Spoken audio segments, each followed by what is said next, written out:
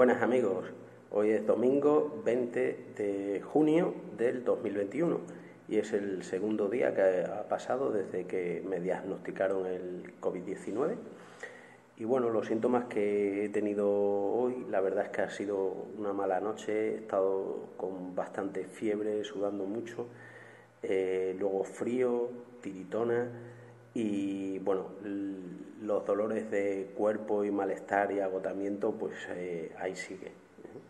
Pero bueno, mm, es, es, curioso porque a lo largo del día veo que hay como, como crestas de que estoy mejor y luego ya empieza a estar otra vez peor. Parece que uno se va recuperando, pero vuelve a recaer.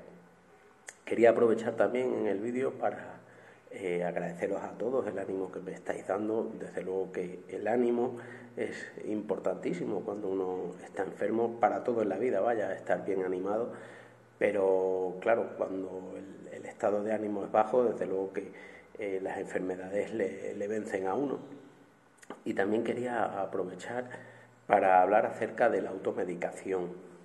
Verás, aquí en, Guatemala eh, hay farmacias cada cinco metros, hay eh, personas vendiendo fármacos, eh, todo tipo de medicamentos por las calles, o sea, es, increíble y sin receta médica y sin nada. No sé si todos los medicamentos eh, serán correctos, serán placebo, no lo sé.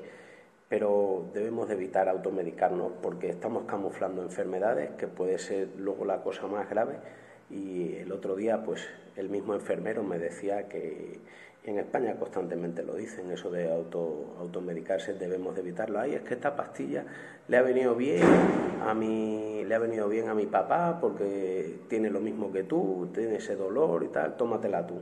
Vamos a evitar siempre esas cosas. ¿eh? Y allí en España, que es todo mucho más avanzado, pues que nos vean siempre primero el, el médico y que sea él el que, el que decida cuál es la medicación que debemos de tomar. A nosotros ya nos vieron y aquí tengo pues un poco el medicamento que, que, me, que me, recomendaron, eh, os lo paso a decir por si os sirve de ayuda, eh,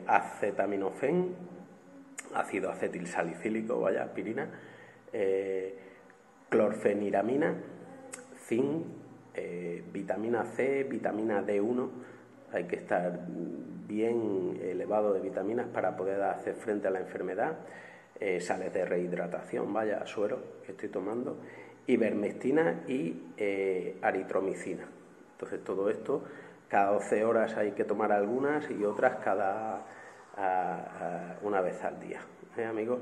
Pero por favor, tener en cuenta esto de la automedicación, que, que puede ser que nos haga más daño y sea contraproducente que, el bien que esperemos que nos haga.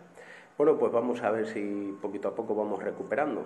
Después del segundo día, la verdad que poco me apetecía hacer el informe, pero por si alguien eh, eh, pues ha estado así o está teniendo estos síntomas, pues para, para que vea también por dónde va dirigida la, la enfermedad, ¿vale?